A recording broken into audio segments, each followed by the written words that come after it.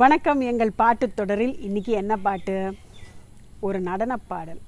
நடனப்பாடல் அப்படின்னு சொல்லும்பொழுது இந்த நடனப்பாடல் வித்தியாசமானது. ஏன்னா இந்த கவிதை நடனத்துக்கு உரித்தான கவிதை அல்ல. ஆனால் இந்த பாடலுக்கு நடனத்துக்கு ஏற்றாற் போல இசையமைச்சார் மெல்லிசை மன்னர். நடனத்துக்கு ஏற்றாற் போல இந்த பாடலை ப்ரெசன்ட் பண்ணார் இயக்குனர். என்ன பாடல்? நின்னையே ரதி என்று நினைக்கிறேனடி கண்ணம்மா தன்னையே சகி என்று சரணமெய்தினேன் இந்த பாட்டை நம்ம சாதாரணமாக ஒரு காதல் பாடலாக கேட்கும்பொழுது இதுக்கு நடனம் அப்படிங்கிற ஒரு ஆஸ்பெக்ட் கொடுக்க முடியாது. ஆனால் கல்யாண வசந்தம் ராகத்தை கையில் எடுத்து எம்எஸ்வி சார் இந்த பாட்டை கம்போஸ் பண்ணுறார் இந்த பாட்டுக்கு நடனம் அப்படிங்கிற ஒரு ஆஸ்பெக்டை கொடுக்கறதுக்காக அதுக்கு முதல்ல நடுவில் எல்லாம் ஜதி கொன்னக்கோல் இந்த மாதிரி விஷயங்களை ஆட் பண்ணுறார் இந்த கம்பீரம் இந்த நடனத்துக்கு உண்டான கம்பீரம் இந்த கவிதைக்கு உண்டான கம்பீரத்தை கொடுக்கறதுக்கு கேஜே யேசுதாஸ் அவர்களை தேர்ந்தெடுக்கிறார்.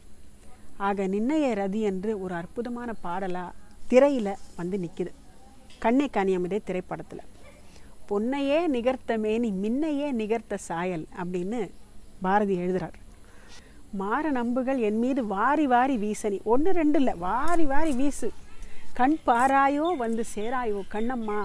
பாரதியின் கண்ணம்மா பாடல்கள் இருக்கே அந்த கண்ணம்மா பாடல்கள் தொகுப்பில் பல பாடல்கள் பலருக்கும் நெஞ்சுக்கு நெருக்கமானது. அதில் நின்னைய ரதி என்று பலருக்கும் வந்து சேர்ந்தது அப்படின்னு சொல்கிறதே வந்து இந்த பாட்டுக்கு அப்புறம்தான்.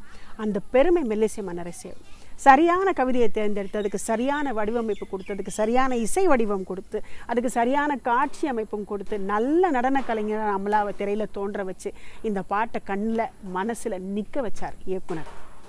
நம்ம பாட்டு தொடரில் இன்னைக்கு நம்ம கேட்க போகிற பாடல் நின்னையே ரதியென்று நினைக்கிறேனடி கண்ணம்மா.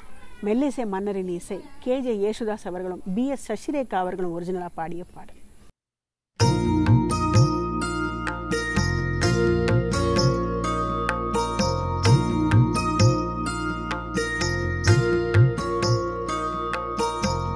நின்னையேறது என்று நினைக்கிறேனடி கண்ணம்மா. தன்னையே சகி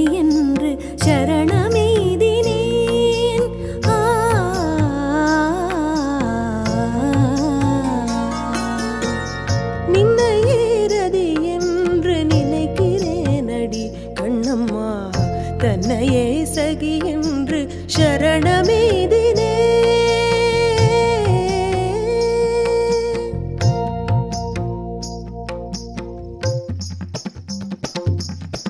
தத்தத்தோம் தருகிடத்தோம் தளாங்குதோம் தகதிமித்தோம்.